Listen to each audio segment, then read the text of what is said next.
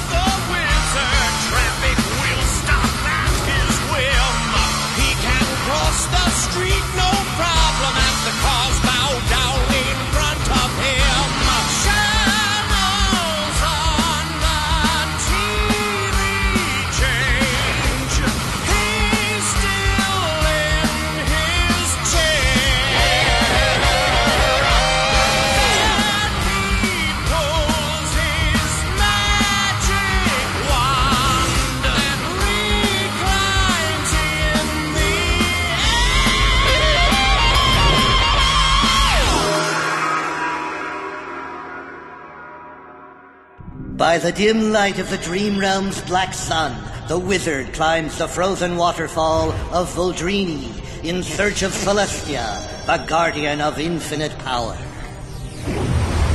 When suddenly a terrible Garlon appears and attacks with ice, but the wizard is undeterred.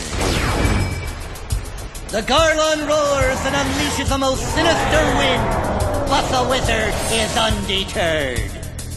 The Garlon summons the stones of Prothenia, but the wizard is undeterred. Calling upon the powers of the ancients, the wizard conjures the sacred fire and casts his foe into the molten maw of an insatiable Gort. Thanks, Gort. Ah, Celestia. I think you're going to enjoy this.